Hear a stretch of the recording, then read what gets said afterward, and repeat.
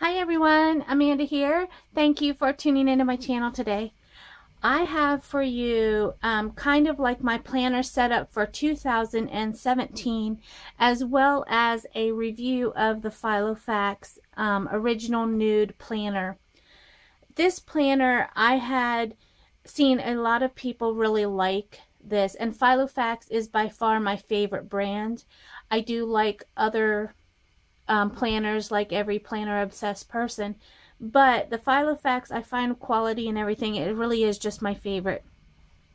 I did not purchase this right away because I like a lot of color. I like a lot of patterns and everything to be, you know, bold and really out there. And so I, I stayed away from the nude planner color because I didn't think I would really like it. And I have to tell you, I love it. I absolutely love this planner so much. I think Filofax is still by far my favorite. And um, I'll show you what I like about it so much. So first of all, I will tell you that the leather on the Filofax original is just I, it, it's it's like I, I want to say it's like sumptuous. that is like the best word I can say because you can feel the richness in this leather. You can feel the quality. You see the stitching is so nice and done completely. The um, sides have the two holes here to hold in the rings and then there's a very faint um, embossing of the Filofax um, insignia and then the back is just plain. I have a, a small mark on there. I think that's after my doing. Um, because I carried this with me when I traveled this year so far. And then it closes um, with this fastener and a snap. And you can see I have this pretty full already. But there is plenty of room. I could still fill this with a lot. So that is the outside of this Filofax. And speaking towards the color, I thought it would be very bland and, you know, uninteresting because I have the black one with the white enclosure here. It was like a special and I love it too. But with the nude, I feel like I can add a lot of color and nothing, um, nothing, it doesn't um, conflict you know what I mean? Like my patterns don't have to be the same to match because I can literally put any pattern of paper for dividers and dashboards in this planner and it will go with it. So that's the outside. It's The snap is great. Um, I bought this from Amazon.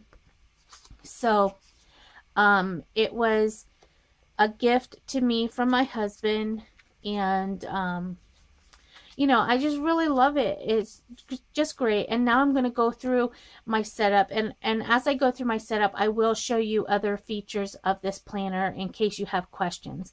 Like, first of all, I would say the rings are about an inch. And all of the, and you can see right there, all of the rings are very tight so there's no gaps so when I switch page, pages and stuff they don't get stuck on the hinges and that's a really big issue for me because I don't want to every time I go like this have to worry about oh I got to unhook it from this or when you um, put your pages in together you know some don't stick in there all the way. So the rings are really good. There um, there's a pocket here on the front. It's a nice wide pocket. And in fact, I'll put this recipe in here that I got and I'll stick that in there. And it's very nice. It comes with a pen loop on the side. And I will show you what it looks like to put in. Um, I think I have, let me see. I'm trying to find one of my, um, one of my pen gems. This is a gold one, so I really got it for my gold planner, but I'll stick it in here so that you can have a frame of reference as to the size of the pen loop, and it fits in there very quite well. There's the Filofax insignia again. It says original, and it's stamped 1921. And then Filofax made in the U UK, A5 organizer, real leather. And then this strap, it only has this one hole for, you know, one um, opening here, but I stuck a lot of different cards in here. I've got some of the Planning Society um, journal cards from last month. That's these two here. I've got um, so the faith cards that came in the Bible journaling um, pen case that I bought. Literally, I liked the pen case. No, I take that back. I thought the quality of the markers were fine. I did not like the pen case. I did not like the way the things fit in there.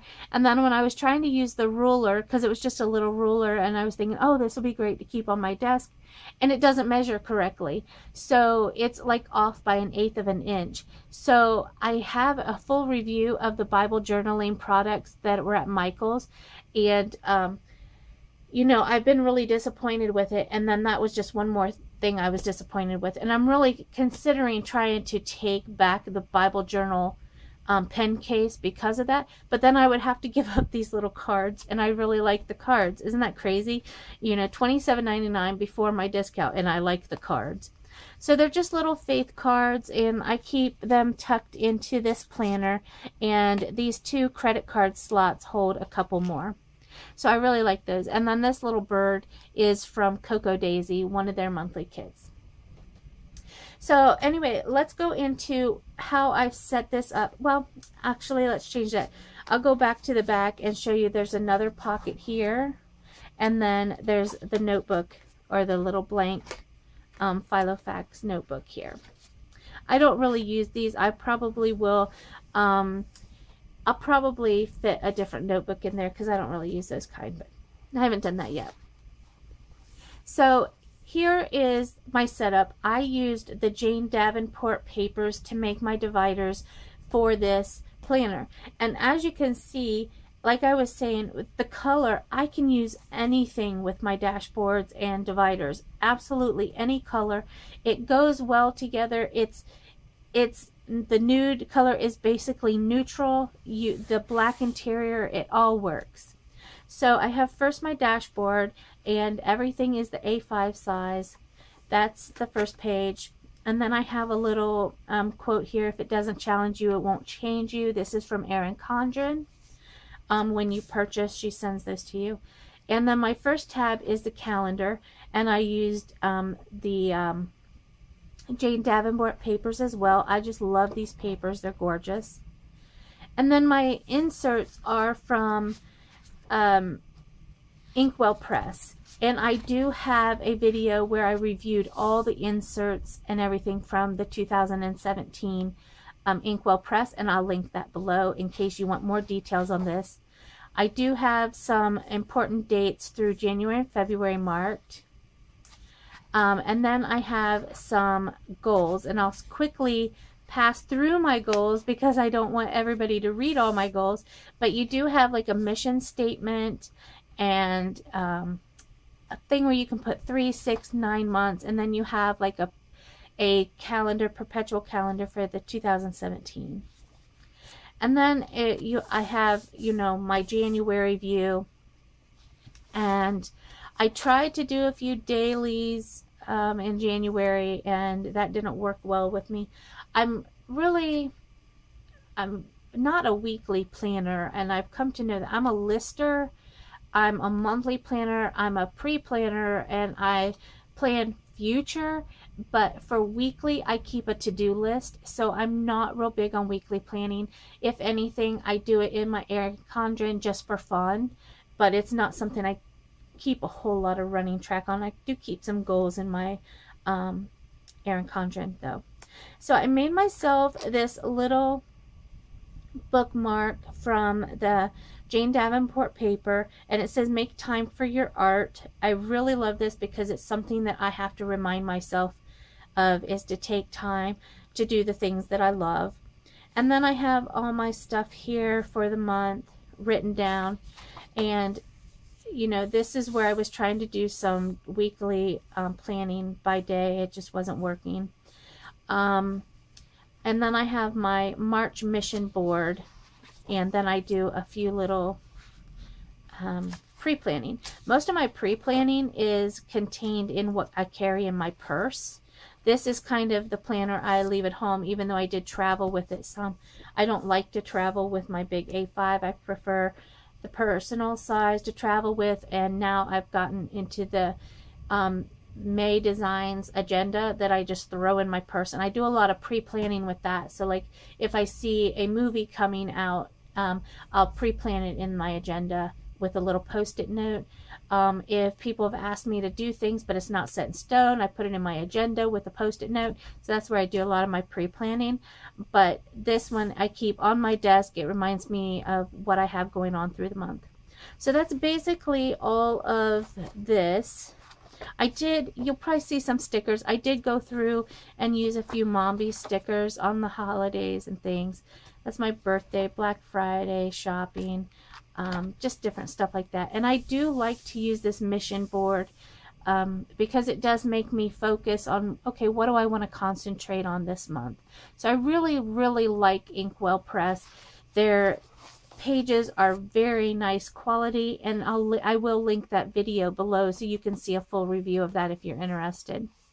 Um, another um, another Jane Davenport divider and I just have this it says I wear two hats because at work I use this for work I'm a project manager and an accountant so I kind of have to wear two hats and I thought it was cute on there this is um, future planning, but this is where I keep, uh, I should have said this is my vacation tab. So that was my calendar. This is my vacation. And this is where I plan out all of my vacations before we go to them. So we're going to Biltmore Estates in North Carolina, and then we're probably going to go to Memphis later on, the, on in the year. And I will work on planning those two things. I have a packing list that I keep that I want to make sure I have everything when I'm, you know, going on vacation. And I think I could even use this page right here to say list any, if I want to see movies when we travel or any good books that I want to take with me when I travel. And then these pages here is let's go on an adventure.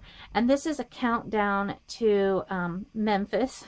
And um, we haven't don't have a date set yet. So um, I haven't started this, but these are so much crafting inserts for their vacation.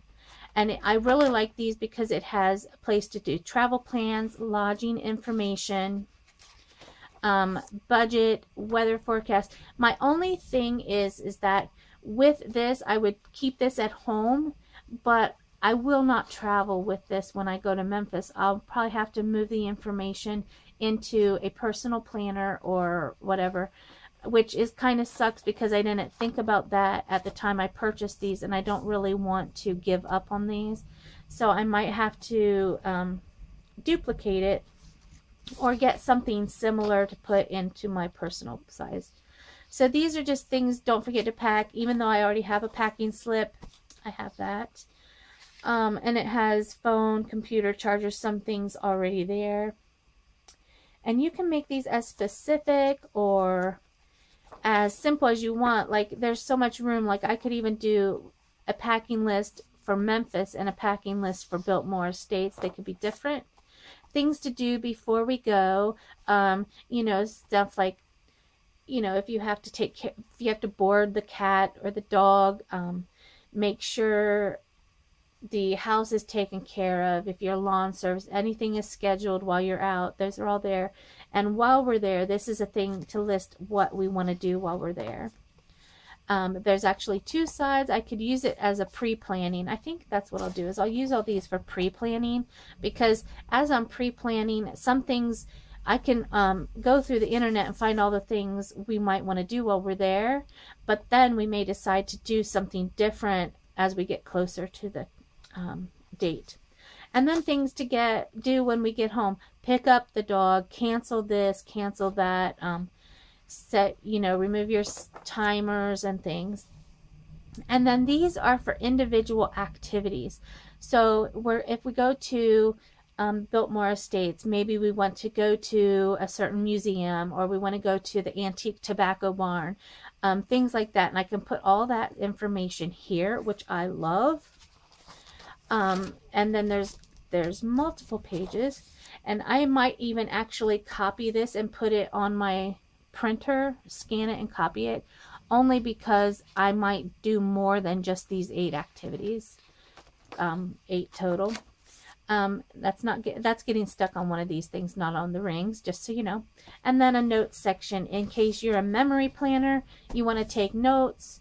And now that I'm looking at this, maybe I'll just take this whole thing too um, on vacation with me because I really like it. Or maybe I'll just stick it in a different planner for the week or something. I do really like this. I have a pocket. This is just an envelope that I laminated and then I cut a slit at the top and I put um, a little planner sticker here that says memorabilia. So when I'm traveling and I get things that I want to save for scrapbooking, I put it in here. And then this is some other places we're going throughout the year. Um, like this one, we were supposed to go to Vegas last year. We didn't, so I put to be determined. Um, that was a weekend getaway that we did, but um, I didn't plan for it. So I'll probably just write over it or put like a sticker over it to rename that. Um, these are future um, travel plans and my Vegas budget. I'll go past that really quick. And then um, some extra like graph paper here with the 2018 calendar. It's really nice to have when you're doing travel plans because, you know, for vacations and stuff, you are you can be planning way in the future for vacation. And that's what I like to have about that. And then this actually came with, where did I get this from?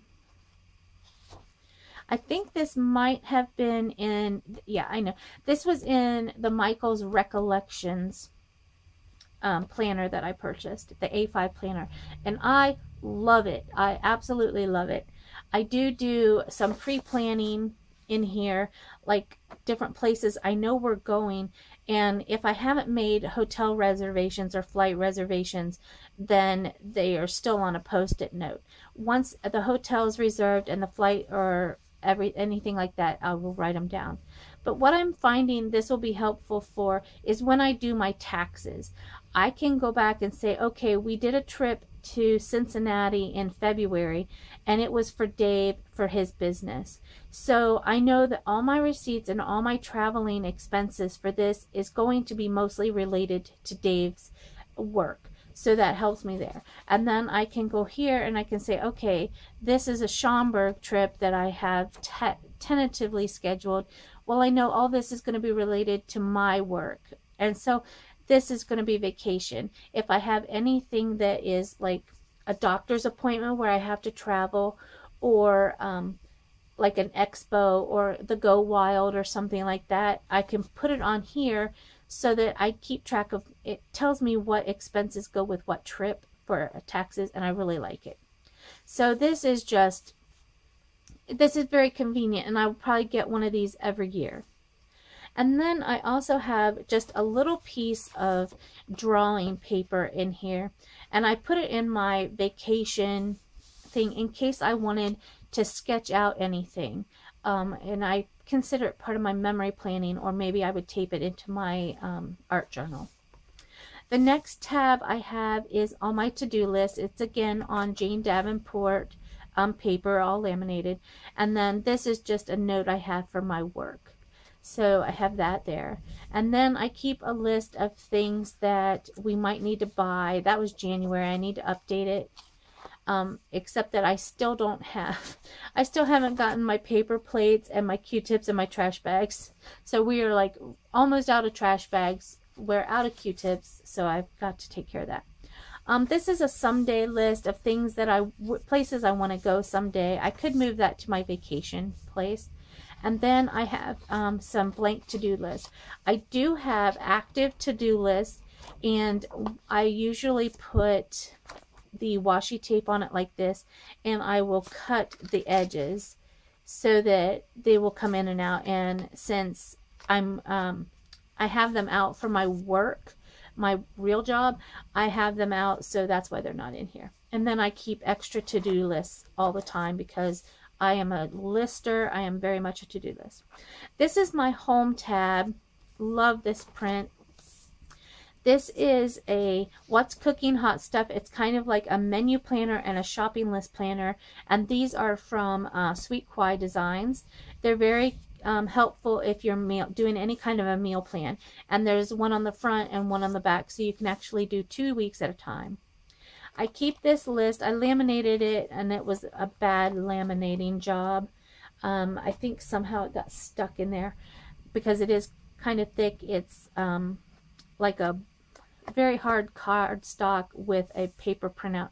And what this is, is since this my menu is in my home tab, I have a list of what produce is good at what time. So when I'm in the grocery store and I see strawberries in the wintertime, I'm going to think, okay, those are from, they're not going to be the freshest. They're going to be delivered from another country or very far away from me. So I, I have this here so that I can keep track and in the spring, these are the vegetables I'm going to be focusing on. In the summer, these are the vegetables and fruit that I will be focused on. And since I'm I love most fruits and vegetables, um, this is very helpful when I'm making out my list. And then I have some project planner pages for different things we're planning to do on the house. This is things we have to do if we want to sell our house. And then I have some pages where I'm starting to do a declutter in anticipation of maybe selling the house at some point. Um, we're still not to the point where we're actively selling yet, but you know, eventually. I do want to put something a little uh, before I'll, I'll do this. Before I move to my finance tab, I did want to um, cover up something. So this is, the next tab is my finance tab. And this is where I'm keeping track of all my online revenue for 2017. And it can actually be more than online because if I get cash for something, that'll be something someone PayPal's me, or maybe I go to a craft show and I use my Etsy um, payment thing, whatever. This well, tells me, you know, okay, I have Kindle books, I have my Etsy sales, I have Amazon ads, I have YouTube and cash. And this is just kind of like a one page that I can keep track of um, everything. I'm not getting rich, but you know, it, it's something. And then the next section in my finance tab are my, and I have these paper clipped together, but these are, I'm actually going to move my blank pages. This is from um, oh, is this Sweet Quiet Designs? Usually I can tell by the width because so much crafting does hers on a half page and Sweet Quiet Design does hers on a little bit more than a half page. So, and to show you what I mean, like this one is a little bit bigger, but if you go back to the vacations, you can see that the pages are a little bit smaller, see? So this is uh, so much crafting, and I believe this is probably Sweet Kawaii Designs. And it's basically a list of all my bills for the month. Don't quote me on that. This might still be so much crafting. I, I've had them for quite a while, so I don't remember. Um, but I list all my bills to be paid for the month, and um, I check them off as I've scheduled them. And then when they go through the bank, I make another slash mark through the check mark. And that just makes sure that I pay everything in the month because since I do schedule everything, um, I want to make sure I don't forget to schedule something because once I don't ever think about it again once I've scheduled it. So I have to have some kind of a tracking system to make sure I've scheduled everything because a lot of things I have on auto pay, some things I don't. So I have a couple extra sheets and I'm flipping them over at the same time because my um, February bills are on the back of where I am for the month. And so I didn't really feel like I needed to share that. And then I have some blank pages and these are just miscellaneous stuff that I've thrown in here. And what I usually do is I'll put like washi tape up here, maybe a sticker to cover that up and use this as blank paper. Um, my next tab is for business. This is a lot of my online stuff. So here's, um, okay, let me explain this section. Before I do the video plan ledger, let me go into these um, items here. What I wanted to show you is I did a review of the Michaels planner that comes in the spiral bound in a box and it was an awful planner and I thought okay I will make lemonade out of lemons and I will use the cal I will use the planner to do this calendar for the calendar portion for my videos and honestly I couldn't even stand being in the planner. I hated it that much. So I ripped out the monthly views and I cut them down to fit them into my A5 planner. So what I'm doing is I'm using the calendar pages from that Michaels Spiral Planner to plan out my videos for the month. And what I've done is in the beginning, I created a ledger so that I would know, okay, if it's this, it's plan with me. If it's this color, it's a planner review. If it's this, it's sticker haul, etc. So that I can use these in every month. These stickers here are from Planner Kate. Love them.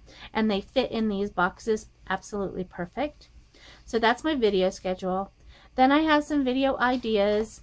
Um, I have a list of um, paper that I want to get. And then I have a wish list of products that I want to get. And then I have a list of favorite sticker shops. Um, behind that is a um, meetup that we did for um, our East Side Columbus Planner group. And I just keep this so that I remember what we did for our next one. And then who showed up, who didn't, and I don't want them to see. And then I did a craft and crop, and that's what all that is. And then I had like a, you know, planning list, everything I needed for that in case I go to another one. The next session, section is miscellaneous, and it's basically anything that wouldn't fit in the other areas. I have movies I want to watch, um, Netflix shows that I want to catch, music I want to download, um, mini books that I'm making that I need to finish and what I need to do, and then an extra sheet. And then these tabs right here are just basically my work projects from work. And I don't have anything in there yet, but I plan on putting something in there. And then the next item is just a couple pieces of note paper, a simple stories pocket with some stickers, and then I used a little bit of the Jane Davenport washi tape there as well. And then the very last thing in my setup is this pocket. And I keep this for receipts when I'm traveling. And um, then I have one of the Michael's Recollections hard divider on the back to keep everything straight. So this is my 2017 setup for my planner in the Filofax Nude, which I absolutely love. I'm pleasantly surprised with the color, and it the Filofax quality does not disappoint. So that's everything. Thank you very much for watching, and I hope you have a great day. Bye, guys.